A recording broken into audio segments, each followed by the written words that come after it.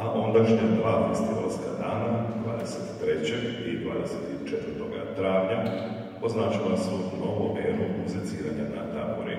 Rođenja Jurija Nikoša, dojena Hrvatske taburaške glazbe i utemeljitelja Međunarodnog festivala umjetničke taburaške glazbe. Naše divne taburaške, dive taburaške glazbe, Vere Svobode, koja nas je, nažalost, ove godine napustila.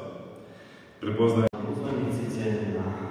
publiko, dragi sudionici, dobro došli na 47. Međunarodni festival umjetničke tamburaške glazbe, središnju svečanost tambure i tamburaške glazbe.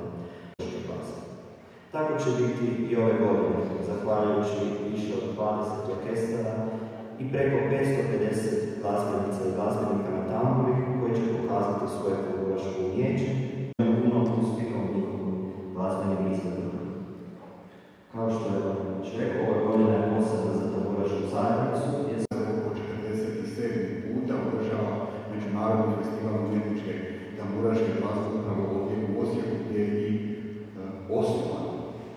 j'ai